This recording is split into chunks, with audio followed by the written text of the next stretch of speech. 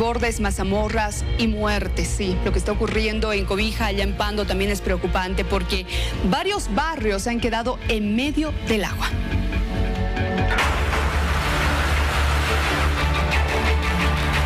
varias instituciones descentralizadas se sumaron para evacuar a las familias y evitar que las personas sean víctimas de este desastre.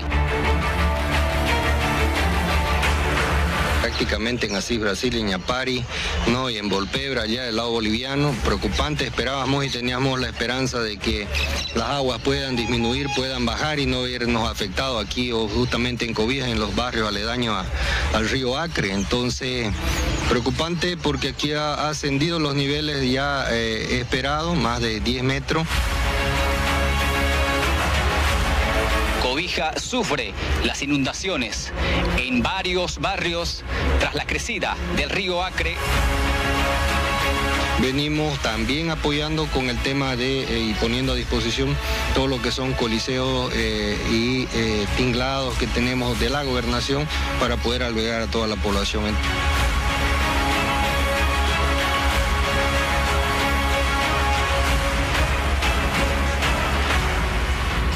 Las autoridades atienden esta emergencia allá en Cobija, en Pando. Pero ¿qué dice la alcaldesa justamente? Vamos a escucharla llegando a los 15 metros estamos con 14 metros y medio, ¿no? Que todos estos barrios están completamente bajo agua, ¿no? Las viviendas bajo agua, muchos barrios que ya se les ha también iniciado, se ha empezado a cortar la electricidad porque el agua también empieza a subir, como ser barrio primero de mayo, ¿no? Desde anoche se empezó, a evacuar. En este momento tenemos albergues habilitados, son cinco albergues, tenemos más de 400 personas en albergues, pero en total son casi 2.000 personas que se han salido de sus viviendas, que están en diferentes lugares, entre albergues, casas de familiares, etcétera, ¿no? Y atención, queremos reflejarle cuál es la realidad a esta hora en Cobija. Queremos agradecer al periodista Carmelo Cartagena de TVU Pando. Gracias por acceder a este contacto, Carmelo. Lo que vemos nos preocupa mucho. ¿Qué tal, Vania? Claro que sí, la, el cauce del río Acre ha alcanzado en su tope máximo de, de 14.46 centímetros, 14 metros 46 centímetros acá en la ciudad de Cobija. Cientos de casas han sido damnificadas por el desborde del río Acre, más de 5 mil familias evacuadas a diferentes albergues habilitados, como también en diferentes casas particulares o familias donde se han alojado mientras dura la inundación acá en la ciudad de Cobija. Aquí estoy un vecino que eh, no creyó que la inundación iba a afectar su domicilio. Venga por acá, doctor, por favor. Muy buenas tardes. Estoy con el abogado Luis Vargas. ¿Cómo está, doctor? Preocupado por lo que está pasando. Preocupado una vez más, esta es la cuarta oportunidad que llega la inundación a esta zona. Eh, pues al principio teníamos la esperanza de que pueda bajar, ¿no? Sin embargo, el río fue cada vez subiendo, incrementando más y el extremo que tuvimos que sacar nuestras cosas afortunadamente oportunamente, ¿no? Y esa es una preocupación que se da pues constantemente, ya este es el segundo año consecutivo y considero que es importante que esta zona pueda declarar una zona roja a fin de que pues podamos estar liberados de muchas, eh, de muchos impuestos, porque si, lamentablemente se sigue pagando en la misma situación que ya es el lugar es inhabitable, ¿no? ¿Cuál es su casa?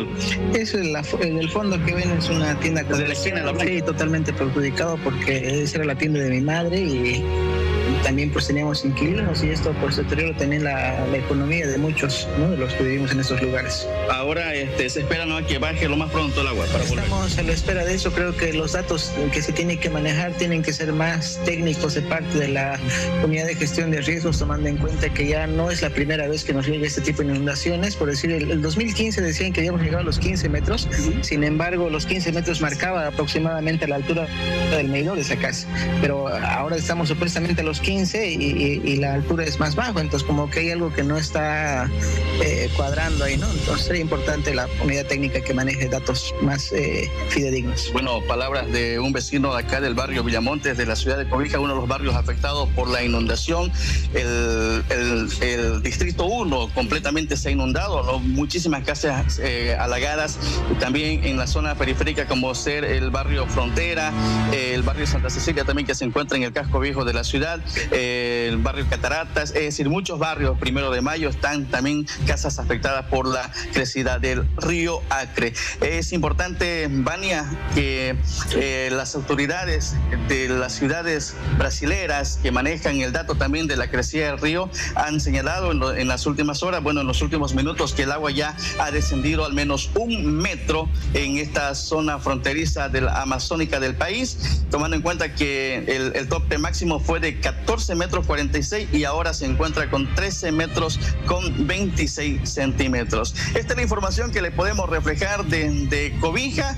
Bueno, anoche llegó un avión Hércules con enseres, con ayuda humanitaria evaluada en más de 50 mil bolivianos. Estuvo el viceministro de Defensa eh, Civil acompañando la llegada de este Hércules a nuestra ciudad.